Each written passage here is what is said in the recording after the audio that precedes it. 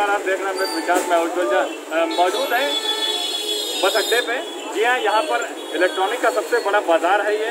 और गर्मी जी हाँ एक हफ़्ते गर्मी पड़ने के बाद प्रचंड गर्मी पड़ने के बाद कहीं ना कहीं इस बाज़ार में ज़रूर रौनक लौटी है। आप लगातार देख सकते हैं कि जो भीड़ है वो कहीं ना कहीं आपको साफ़ दर्शा रही होगी कि कूलर की दुकानों पर पंखों की दुकानों पर जो रौनक चली गई थी वो कहीं ना कहीं इस गर्मी ने वापस कर दिया। आप लगा, देख सकते हैं कि जो कूलर की दुकानें हैं, उस पर जो वर्कर हैं कस्टमर भी हैं, बहुत भीड़ की संख्या जो बताएँगे तो बहुत भीड़ है यहाँ पर।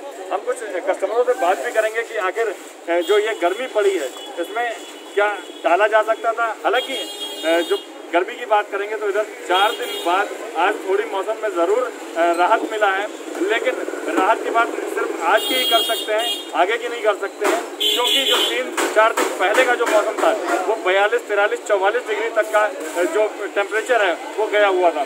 कुछ लोग हैं यहाँ पर हम बात करेंगे नाम है आपका? कहाँ से आई हैं? क्या कूलर लेने आई हैं? गर्मी ज़्यादा पड़ रही थी गर्मी पड़ रही है तो परेशानी वैसे भी सबसे ज़्यादा दिक्कत है गर्मी में काम तो होने जाए तो हवा तो लेना ही है। अच्छा इतने दिन से लॉकडाउन था जब तब भी ज़रूरत पड़ी इसकी? नहीं पहली बार आए पहली बार आए। नहीं लॉकडाउन में इसकी ज़रूरत पड़ रही थी। अब क्या करें पड़ तो रही है। गर्मी तो गर्मी है। देखिए लॉकडाउन में भी ज़रूरत पड़ रही थी, मगर क्या था कि दुकानें नहीं खुल रही थी। इसलिए अब जो दुकानों पर जो भीड़ है, वो लगातार आप देख सकते हैं कि किसी भी तरफ़ हम कैमरामैन से कहेंगे कि एक बार चारों तरफ़ बहुत सारी दुकानें हैं, क्योंकि ये इलेक्ट्रॉनिक सबसे बड़ा बाज़ार है ये। और हम कुछ दुकानदारों से भी ये बात करेंगे कि आखिर जो ये गर्मी पड़ी है, इसके बाद क्या दुकानदारी पे कोई फ़र्क आया है? या कस्टमर बढ़े हैं? रेट का कैसे क्या है? ये भी कुछ लोगों से बात करेंगे। अ, क्या नाम भाई साहब?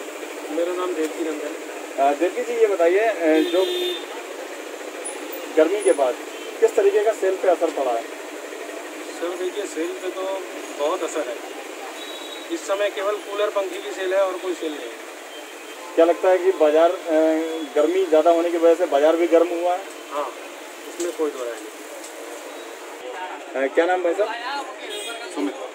सुमित जी ये बताइए गर्मी भीषण के बाद बाज़ार में क्या भी बाज़ार में भी गर्मी आई है? जी जी किस भीड़ भाड़ है कस्टमर है बाज़ार में। किस चीज़ की डिमांड सबसे ज़्यादा है? कूलर कूलर है पंखे हैं। ऐसे में क्या माल लाने में कोई दिक्कत परेशानी है या पुराना स्टॉक ज़्यादा था वो ख़त्म हो रहा है? पुराना स्टॉक खत्म हो खत्म हो रहा है। जो उम्मीद थी कि नहीं खत्म हो पाएगा लॉकडाउन में तो वो कहीं ना कहीं सही हो गया। नहीं सही तो नहीं हुआ लेकिन फिर भी गनीमत है पहले। क्या नाम बाबू जी सतीश वसीन सतीश जी ये बताइए इस बार जो गर्मी पड़ी है इसके बाद क्या पंखे कूलर की सेल पे कोई फ़र्क पड़ा? हाँ पहले साल से इस साल में सेल में फ़र्क है लेकिन पहले से कम है। लॉकडाउन की वजह से थोड़ा सा तो फ़र्क है लेकिन वो पोजीशन नहीं आई। वो पब्लिक जो है ना वो भी सुधरने को तैयार है। भले ही हम लोग सुधरने तैयार है सैनिटाइजर करा रहे हैं सब करा रहे हैं। हाँ सेल पे तो भैया बहुत फ़र्क है। अ, क्या लग रहा था जो माल पहले का डंप था वो खत्म होता हुआ नज़र आ रहा? है खत्म हो गया और नया माल आ गया। नया माल आ रहा। है क्या नाम है भैया तुम्हारा? उमेश। उमेश भाई कहाँ आए थे? यहीं पे मार्केट में आए थे पेडेस्टल फ़ैन वगैरह देखने के लिए अच्छा तो रेट का कुछ महँगा लग रहा है या सस्ता लग रहा? है पहले से कोई फ़र्क ऐसा लग नहीं रहा। महँगा जैसा नॉर्मल हो रहा था तो वैसे ही लगा